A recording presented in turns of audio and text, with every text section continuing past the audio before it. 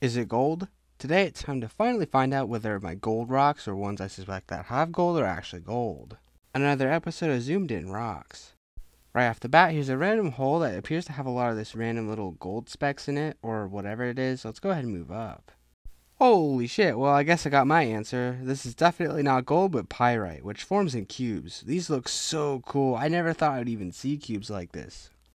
A great indicator on whether it's gold or pyrite is just by the shape itself. Pyrite forms in cubes as you're seeing around here, while gold does not.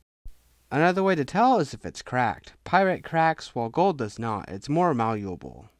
Here's another spot. Right here you can see that it kind of has like a cube wall, but then it's just all eroded, which is actually quite common. When it comes to the base material, unfortunately pyrite can be found in a lot of different rocks, so that doesn't help us here. Though to me this kind of looks like quartzite, but probably not.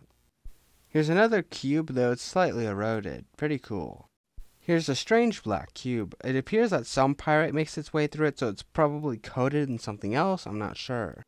Gold would be really cool to have and all, but this pyrite is just so cool to look at. I'm happy. Now for the outer surface, which appears to be the exact same thing, but with less pyrite, probably because it all got eroded away, and it's just a lot more dirtier. Although, it still looks pretty cool.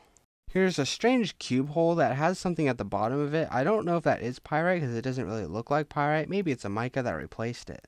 I hope to find some more pyrite in the future. What a cool rock this is. Also, this rock appears to have a random rust stain right here. I'm not sure what's going on with this, but it's here. Next up is my super heavy metal rock. That's just what I've dubbed it for right now because I have absolutely no clue what's going on with this rock. Maybe gold is what's making it weigh so much? I don't know. Let's go ahead and find out. Holy shit, I found gold just like that. Wow. Also, considering how this rock is significantly heavier than it should be, plus this gold looks way different from pyrite, I am pretty confident to say this is gold, though this spot might not be. There are also some weird strange minerals within this rock, like this weird green. I uh, no clue what this could be. It's different from the other greens from the last episode, so it's a different mineral. Here's the biggest green crystal I can find. Just by the way it looks and it acts, it just reminds me a lot of a mica crystal. Like it has the same kind of like reflective light properties. It has like the same look. Could be something different, but that's what I'm willing to say. Though as to what one, I don't know. Here's another strange green crystal surrounded by some gold. It appears this is kind of like an area of just green minerals and gold. Here's a very green mineral. Anyways though, that's all the time I got. I'll see you guys in the next episode.